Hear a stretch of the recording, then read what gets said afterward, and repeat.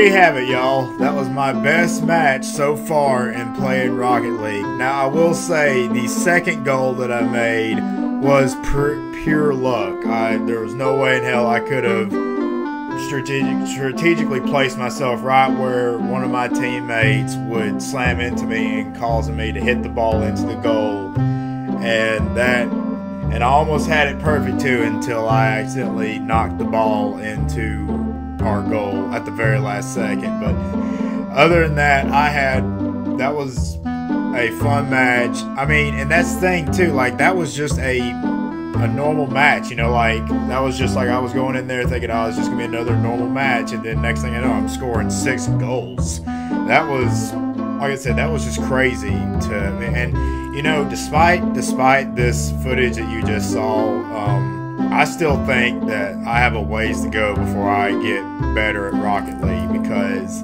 I mean, to be really good at Rocket League, you have to throw in hours and hours of just constant playing and everything like that. And while I have been doing that, I still don't consider myself to be decent at the. I mean, I consider myself decent at the game, but I don't consider myself to be really good at it. Um, not like some people I watch. Uh, like some and, and that's thing too. Like the match before this match, um, our team lost like four one. So I mean, you know, it's just one of those things where it's like one match you suck horrendously, and then the next is just like holy crap, I just scored six goals.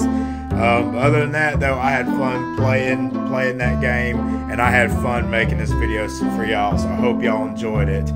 But thank y'all so much for coming out to watch this video. Hope y'all enjoyed it. If y'all did, smash that like button. Let me know what you thought of the video and subscribe for more great content. Thank y'all so much for y'all's time, and we'll see y'all in the next round.